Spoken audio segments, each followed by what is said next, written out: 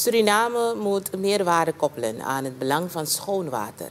Zo luidt de collectieve boodschap van voedseltechnoloog Ricky Stutgaard en minister van Landbouw, Veeteelt en Visserij Parmanant Theodien in verband met Wereldvoedseldag. Het thema van dit jaar is Water is leven, water is voedsel, laat niemand achter. Water is essentieel voor het leven op aarde, want die produceert ons voedsel en ondersteunt het levensonderhoud. De voedseltechnoloog merkte op dat deze kostbare hulpbron niet oneindig is en mensen moeten ophouden om deze als vanzelfsprekend te beschouwen. Het eten dat we dagelijks consumeren en de productie daarvan hebben allemaal invloed op water.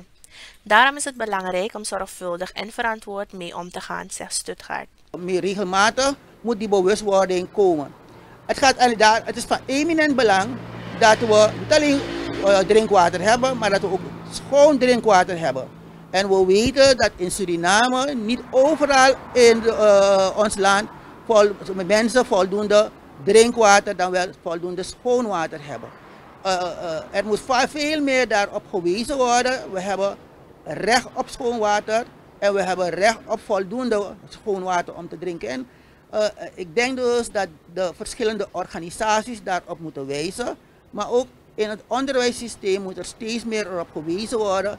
Het belang van, uh, van, van water, het belang van drinken. Want we, we, hebben, we gebruiken water niet alleen voor om te drinken, maar ook om te baden, om te koken. En, en, en het is van eminent belang dat het schoon water is. Anders kunnen we een heleboel infectieziektes oplopen.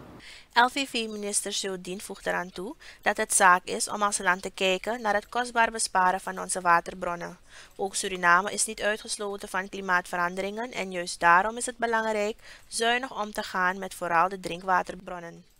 De technologie is reeds ver gevorderd, eh, waarbij gebruik wordt gemaakt van een uh, druppelirrigatie bij bepaalde droge gewassen of hydroponic waar er veel water hergebruikt wordt.